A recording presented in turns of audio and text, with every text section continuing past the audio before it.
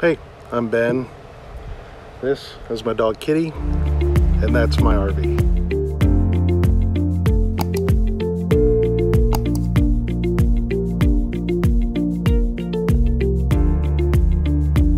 Let's break it down first off. What is a charger? It sounds just like what it sounds like, right? It takes 120 volts in, either from shore power or your generator, and it recharges your house batteries. The inverter does just the opposite. It takes power from your 12 volt house batteries and inverts that into 120 volts for your rig. That'll typically be for only a couple of plugs in your in your house, not all of them, be for major appliances like a microwave or roof AC vent. It's only made for kind of lightweight inverting in that regards. So what are the issues with what the factory put in? Well, first off, it's the cheapest and uh, most readily available inverter charger out there. And I'll pop up a picture here of what mine had. There's not really an easy way to program those for different battery types. Now I did find a way to get around this thanks to finding a, a part on eBay. It cost me about $100 and it was a good stopgap.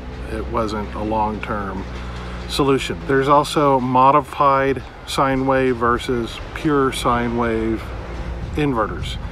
Pure sine wave, pure cleaner power. So as an example, the inverter that the factory did put in our rig was a modified sine wave and I could hear things like my laptop charger power supply humming quite often because it wasn't very clean power. So electronics typically prefer uh, pure sine wave inverters as opposed to modified sine wave. It's just a cleaner power solution. Then you've also got the, the fact of the, the wattage output of the inverter that the, the factory uses, which is typically lower and cheaper. And there's a, I don't know if you can hear that, flock of geese flying overhead right now. So what did I do? I did a Victron Multiplus 3000 watt pure sine wave inverter. Uh, one of the great things about it is you can program it for the different battery types. Do you have flooded lead acid? Do you have AGM? Do you have lithium? How many amp hours do you have of those batteries? What's the charging profile of those batteries? So you can get very specific on your bulk charge versus absorption or is there a float? So the different stages of charging a battery. It's also a pure sine wave inverter. So my electronics don't hum or buzz when I use my inverter anymore. And I'm going to show you how I wired up the whole house to run off of the inverter by only having to run two extra wires. Now I am not an electrician, uh, full disclaimer, I know enough about 12 volt to get my way around it, but 120 volts is a little bit of a different story. But if I can do it, anybody can do it. I'll say one thing that I did learn with 120 volt wire is that the wiring is color coded. So typically uh, what most RVs have coming in, and I'm talking for 30 amp, 50 amp is, is a little bit different, is an orange colored wire, also known as 10 to non-metallic Romex. So 10 is the gauge of the wire uh, and it's kind of a little bit different. The smaller the number is the bigger thickness of the wire. 10 gauge two conductor wire. There's actually three in there if you include the ground. And I bought a 25 foot run of it, which was not quite enough for my rig. I needed about 35 feet to make it make it all complete. But basically where that power comes in from the automatic transfer switch, whether you're on shore power or your generator, goes to a circuit breaker panel. The inverter has its own circuit for the three or four outlets that it powers. So what I did was take that 10-2 Romex coming in from my, my automatic transfer switch, shore power generator, and I extended that to where my inverter is. And then the output of the inverter then takes 10-2 wire and goes right into the circuit breaker panel where my original 10-2 wire came in from the transfer switch. So all I did was extend that wire. Two, two pieces of extended wires, basically all it took. Routing it was probably the trickiest part because I had to go behind my shower uh, kind of in the back part of my bathroom, kind of behind this outside entertainment center that you see here. It's currently closed up to get to where my inverter charger was installed from the factory that I just put my new Victron in the exact same place. So what did I get out of that? Well, now my whole house can run off of my batteries through the inverter. Every single outlet includes a roof AC, and I'll talk a little bit about that in a second. The microwave draws a ton of power. So before we get into the how, let me talk about the why real quick.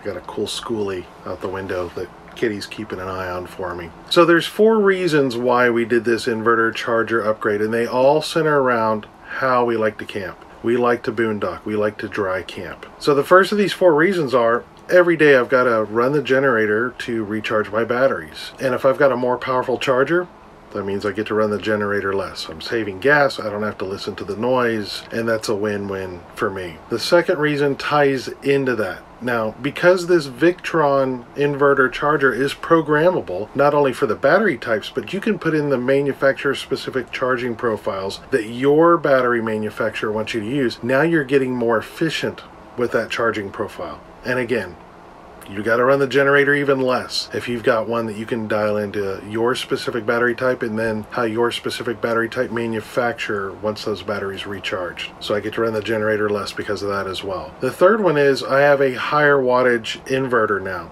It's also pure sine wave. So I'm getting clean power and I'm getting more of it to run more things simultaneously before I deal with any sort of overload of the capacity for this particular inverter compared to what was in here from the original factory. And then the last piece is the ability to monitor all of this, my current battery state of charge, what's going into or out of the charger or the inverter, all with an app on my cell phone. So if I'm outside the rig, as long as I'm within Bluetooth range or I'm inside the rig, I don't have to be where all of my other display panels are for like my water tanks to see what's going on. I just open up an app on my phone and it tells me literally what's happening, how much or how little is going in or out of those batteries.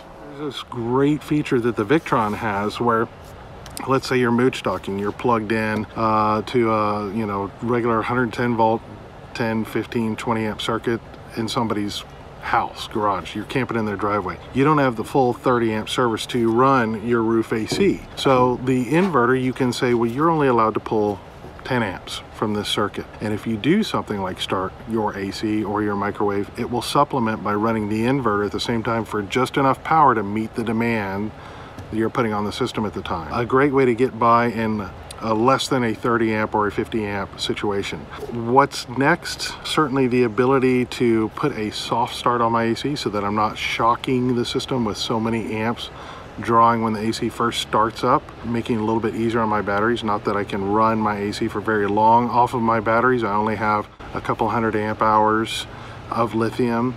But the idea is if I'm making less of an amp draw when it first kicks on, it's easier on the batteries because I'm pulling less amps over time with an AC soft starts. But that'll be next summer. As you can tell, I'm wearing a hoodie. It's fall time. We're currently in Oregon enjoying the nice cooler weather, so I don't need the AC until next summer. Another feature is the uh, Victron, you can get a Bluetooth dongle to allow you to see exactly what's going on with your inverter from an app on your phone uh, as long as you're within Bluetooth range. So great to see what's the current AC input, how many watts are you pulling in, or volts or amps, however you want to look at it, and then what's going out with the inverter or the batteries charging, how much are they charging, and then you can also tie that in, which I did with a Victron smart shunt. So now I can see what uh, state of charge my batteries are at down to a percentage point, 99% versus 9%. And that will talk, they will talk back and forth via Bluetooth to each other. That smart shunt will let my Victron know what's the current load on those batteries, what's the current temperature of those batteries, so that when the inverter or charger is recharging them, it knows the battery temperature is, it can compensate for that if they're cold or if they're hot. I'm back at the circuit breaker panel for my RV.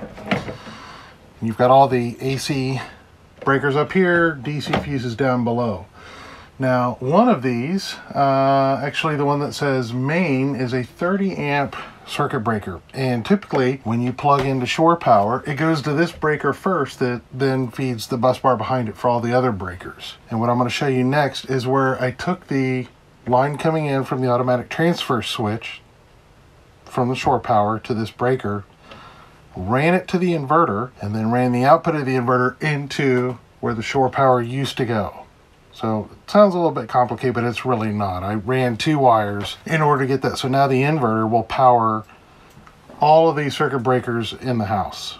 Doesn't matter which outlet, they all work off of that. So let's show you what I did kind of behind here so you can see what I'm talking about. All right, so we were just looking at the circuit breaker panel, which is on this side of the bed. And this panel covers up the back axis of it. And it's just held in with staples. It's not too hard to get to. If I take this, swing you guys over here. So there is the back panel of the uh, circuit breaker panel.